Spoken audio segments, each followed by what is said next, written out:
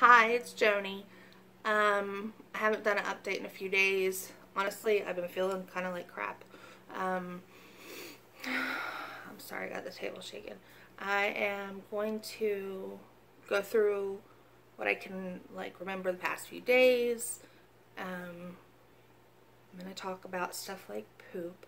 So if that's TMI for you, scurry on along to another video because this will be one with stuff like that. Um, I know I look like a hag right now. Uh, I just took my hair down. I just woke up. Finally had some sleep. Um, that's been a big problem for me. I haven't had any sleep. I'll just scoot this back. I might shake some more. Um, I haven't had any sleep. Um, it's really difficult sleeping on my back. Um, I was trying to sleep on my stomach some, uh, but it was making the pain I was having worse and worse.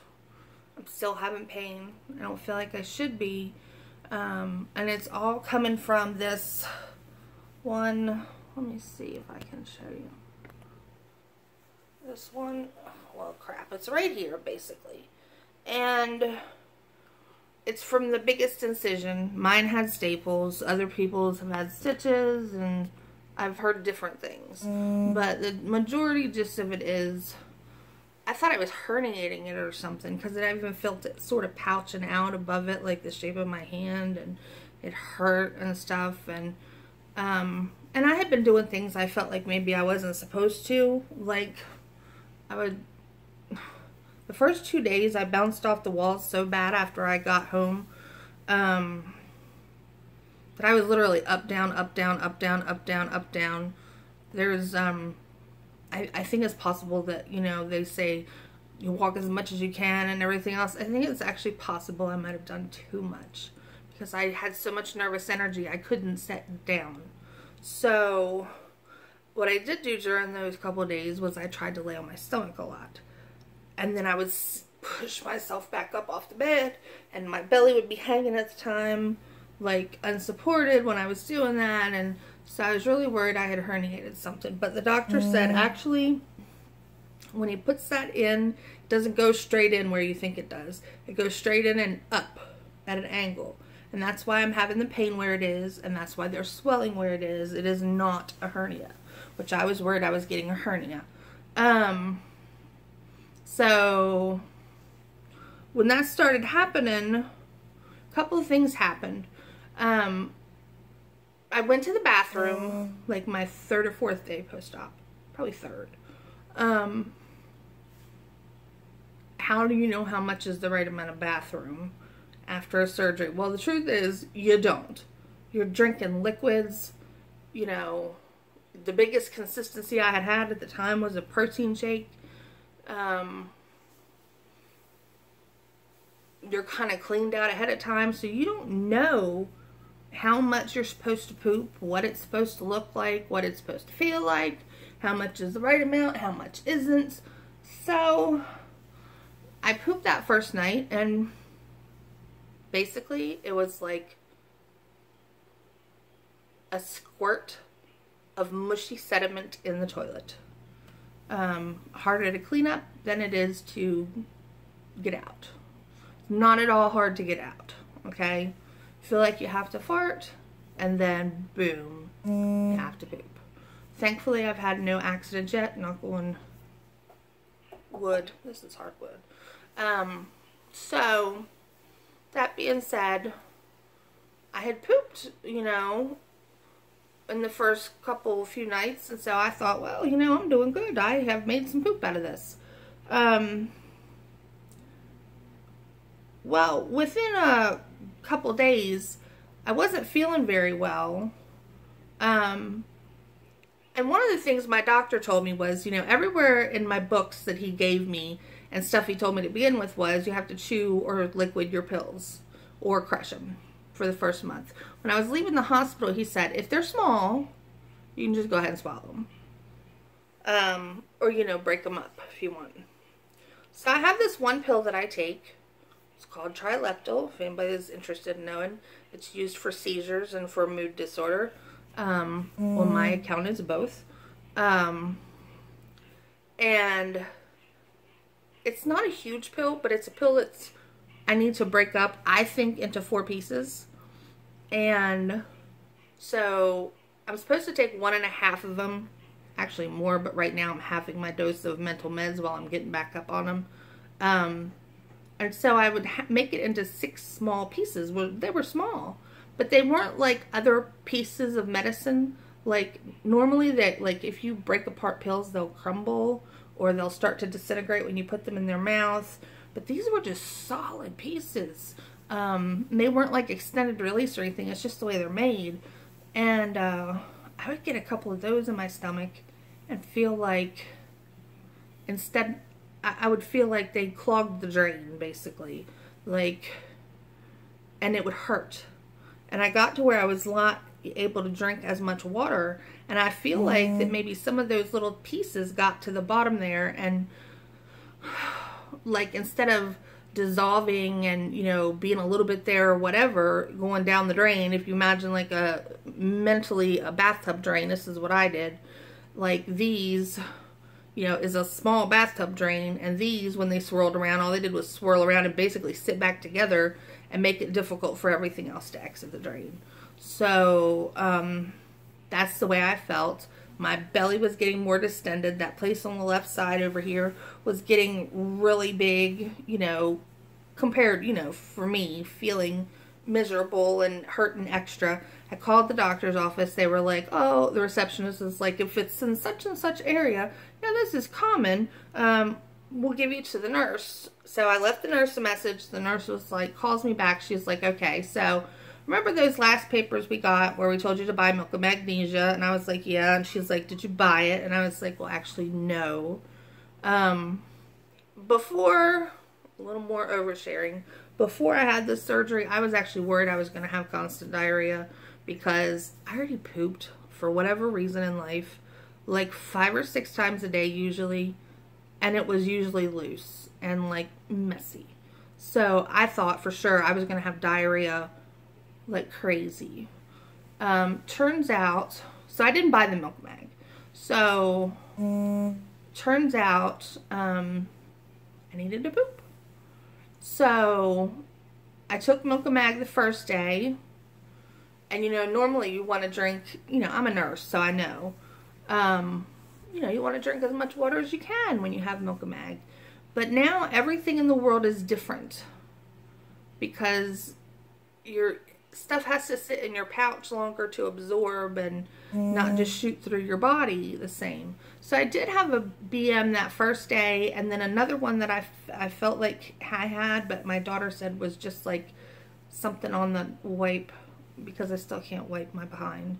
Um, there's a big confession. That's the biggest uh, non-scale victory that I hope to achieve through all this is independence in I haven't wiped myself in like almost two years. It's either my daughter, my husband, or occasionally my mother.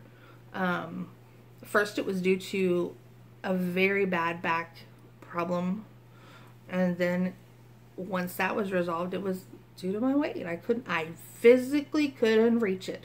I have short arms, you know. It it just, I've tried all kinds of appliances and different ways. Uh, you just can't imagine, but it, it's it's terribly it's been terribly embarrassing and humiliating.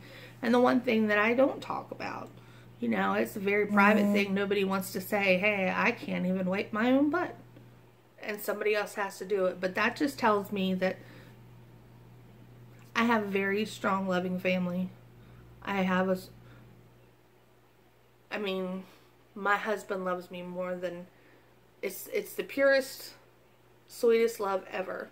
When he met me, I was young when we got married. I was young. I was 17, going on 18 when we got married. I had like a perfect 36, 34, 36 hourglass figure. Beautiful girl. I know you can't tell under this, but trust me. I'm talking like I was in pageants and stuff. Beautiful girl. Um, and I know that she's in here, you know, in the mirror. And I think I'm a much more beautiful person inside now. But what I'm saying is my husband has loved me mm. through all of this. not just beauty. You know, it's he's always felt me beautiful. He's always wanted me, you know, intimately, no matter what size I've been. And so that has been the greatest blessing of my life. Because what kind of man wants somebody that's thin, still loves somebody just as much and acts, you know, wants them just as much and never says, I want you to have surgery because you embarrassed me or because you're fat. He just said, I want it for you so you can be healthier, so you can live longer and be with me longer. And the greatest husband ever. Just, and I feel bad for anybody that's having to go through this that doesn't have the kind of support that I have because my husband is wonderful mm. support. I have my family, my children, my friends, friends from out of state. You know, everybody is just championing me through this. And then I see people that don't have it. And I wonder how they get through it. Because it's so mentally taxing. And if I'm crying, it's because I cry a lot right now. Um, and from what I understand, everybody cries a lot right now. But like I saw people post on like bariatric forums that they don't have any support people and their friends say terrible things to them and I just couldn't imagine going through this without as much as I have without the support that I have because it's taken everything I have mentally to go through it even with them so um anyway the next day, I took the milk of magnesia and I let it just sit on my stomach without drinking the water. And I went like seven or eight times that day. It was still nothing more than like sediment in the toilet. It's just one little and like liquid sediment in the toilet that got liquidier through the day and was just messy to clean up from me. Um, but not like a lot of volume at all. So that's all I know to tell you about like pooping in the right amounts or the wrong amounts. I'm still learning. Um, and they said, you know, once you have more food on your stomach, you'll be able to, you know, get to more stuff like that. But, um, you know, once you have heavier stuff on your stomach, your digestion will improve. You won't have to be taking milk of magnesia and stuff. But um, I've definitely been taking milk and magnesia about every day mm. um, since that happened. Um, now I usually go four or five times a day. But like I said again, it's just basically kind of like the feeling that you have to kind of like fart, but you don't trust it. And you feel like there might be a little something there, and then it's just a little in the toilet, and then that's it. Um, so I definitely have given all the private stuff out in this information. Um, I've been mentally starving. And by that I mean like, I don't even like a lot of the things that I'm allowed to have on this phase two, which is basically like try and drink all your protein shakes that you're supposed to, water, Crystal Light, which I used to love and now I can't stand all of a sudden um, sugar-free popsicles and you know my friend went and bought me sugar-free popsicles and then I looked on the back of it and in my book because I have a book um, that my doctor put out I'm well informed on what to eat and what not to eat and it basically it's like avoid these list of sugar names and sugar alcohols and sugar alcohols was a big one because it's like xylitol, mannitol, sorbitol, most of it ends in an all, and then the last one is isomalt, I think, because those can make you um, have dumping syndrome, and you know they're not good for you. So I got the popsicles. I was like, oh, I can't even have these popsicles. So we finally found some um, through research and help from um, like a bariatric pal online thing. Um, I posted the question and found out that I was able to have those. Um, and you are you know, I am able to have aspartame. Mm. It's just all according to like a doctor or a, or a or a um, nutritionist personal philosophy because I saw some people saying they weren't allowed to have aspartame, and I think it's because some there is a lot of controversy about it in the media over whether or not it's good for you, bad for you, whatever. Um, it has no bearing on the surgery or like making you sick or anything like that, but some doctors or nutritionists feel like it's not uh, something you should have in your life at all, so they tell you not to have it. Um, I've seen people post questions about what vitamins to take. Um, I'm taking uh, Flintstones vitamins, two of them a day. Uh, I don't know if I've mentioned this before, but I tried the generic from Walmart, and this is one place that you don't skimp because they tasted, oh my god, horrible. Um, they told me next time to get it with iron, even though I no longer menstruate or anything. They said that's the newer recommendation. Um, there's a lot of stuff I went through today. Oh, I had my first pre-op appointment today. Mm. Um, I found out I didn't have a hernia, that I'm basically normal, um, that everybody's going through the same emotional roller coaster in one way, shape, or form, and that it's it's not just the day or two a roller coaster I thought it was going to be. It's going to be um, definitely a year of roller coaster, um, but it's you know it's a lifetime. It's just that the roller coaster evens out to a smoother ride um, fewer hills and valleys the further out you get. Um, but so I guess everybody wants to know the first question is how much weight have I lost? Um, and the answer is 14 pounds.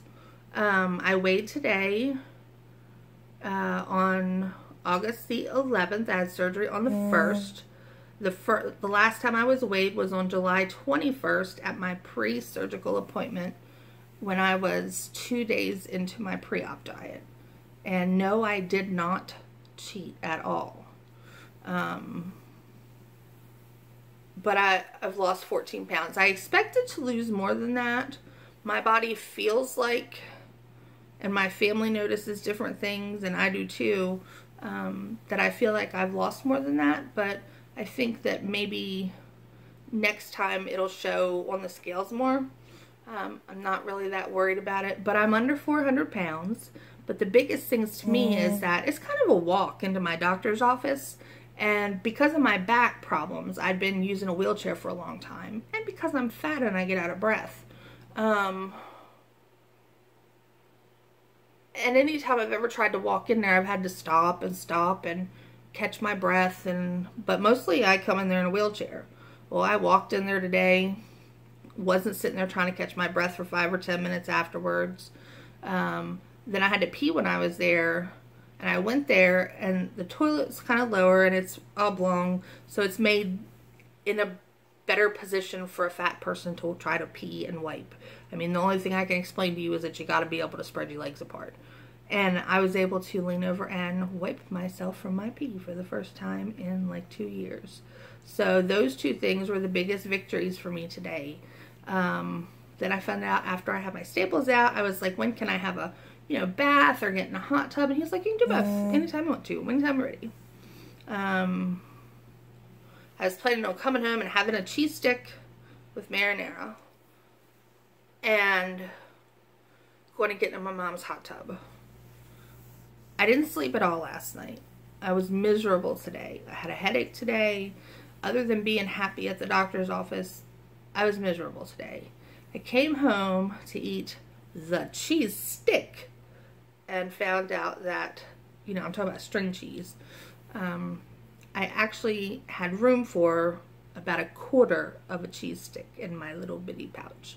And it sat heavier and it was more uncomfortable. It wasn't bad, but it was more uncomfortable and I was whiny because I was hurting and my head was hurting. My sugar was 156, which surprised me because um, I started hurting almost like I would when my headaches would get when my sugar would get up like by 200. So I actually gave mm. myself two units of Humalog insulin today, um, which I hadn't had any insulin or anything like that since I had surgery. Um, the doctor ordered me some more pain medicine. It's liquid Lortab, and let me tell you something. You have to be in some serious pain to take this crap because it is vile I would rather, I can't even tell you the different things I'd rather do than drink this stuff. But it is so nasty tasting. It's enough to gag a maggot. To me, I can't stand it.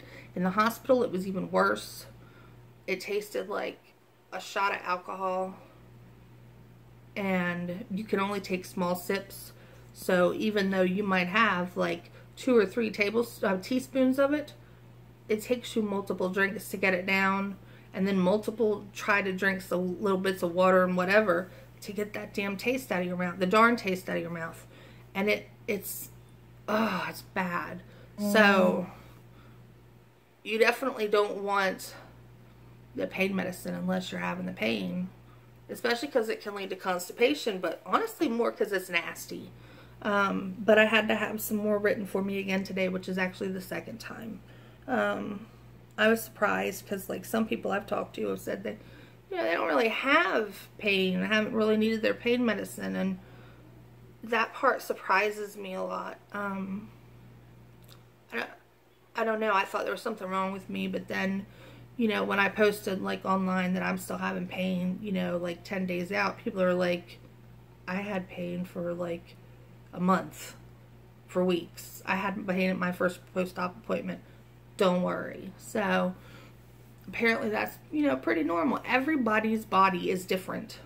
Um, you're no bigger wuss or less of a wuss or whatever mm-hmm. because your pain threshold is different, because your nerves perceive things differently. Um, you know, your pain is your pain. Um, and that's something I learned in nursing school. Um, trying to think if there's anything else I need to add. I had major non-scale victories. I had pooping problems. I laid here sick as a dog, feeling horrible for a couple of days. I haven't had I haven't been able to sleep that well because I'm not a back sleeper. I'm sleeping on my side really sucks. Um, it hurts kind of um, to sleep on my right side. Sometimes, sometimes not. My husband snores loud. I mean, I would too if I didn't have my CPAP on, but like if he gets to sleep before me, like last night he was asleep before me. My friend's phone, she's here, mm. she's out in the living room, kept clicking every time she received an email last night, and I swear, like the entire country of China emailed her last night. And so all of her little night was click, click, click, click, click, click, click, click, click, click, click. And I was like, dude, we have got to turn that off because I'm going to die. I'm going to throw it out the window. It's just, it's all there is. Little things annoy me easier and quicker. Um, those are the major things I can think of right now. I'm excited to be on the next phase of my diet. I feel better because I got some sleep today, finally. Um,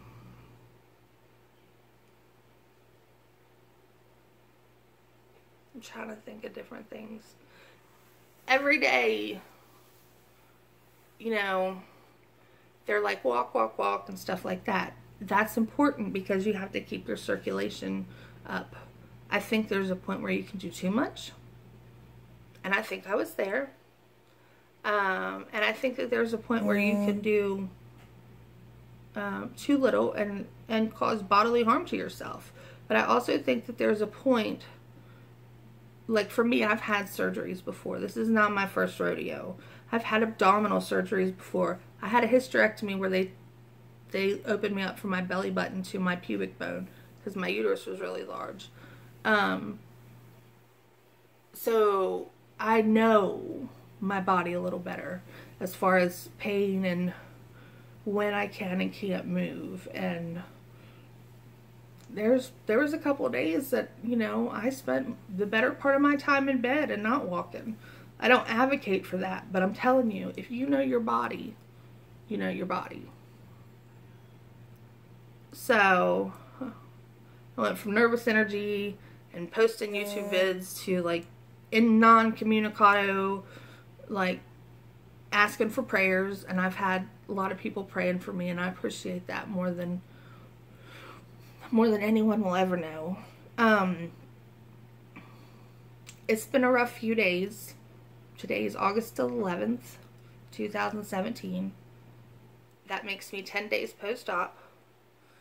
And these are my confessions for the day. Might think of some more tomorrow. Hopefully I'll be better about posting videos again now. I'm not feeling so bad. But that's just an update for everybody. Um, I don't even know what I'll call this. Um, TMI Confessions or something. Anyway, like, subscribe, comment, watch it when you want to, share it with your friends, tell everybody all about, you know, my journey with my too much information. I'm putting it out there as a reminder for me and as help for somebody else because like I saw videos and everybody was it seemed to me like in their 200s and that's where I want to get you know I'd like to get down to 200 but people that are in their 200s to me didn't seem that big I know everybody's big you know what I'm saying they have their own set of problems and things like that but I wanted to see somebody my size going through stuff um, I don't know that I found that, but maybe I can be that. Maybe I can be the person that answers the questions along the way that people are scared of. Um, so, anyway, there's my TMI post. Sorry it's been a few days. Not sorry because I've been hurting and you got to take care of you first. So, that's all. Joni's out. See you next time.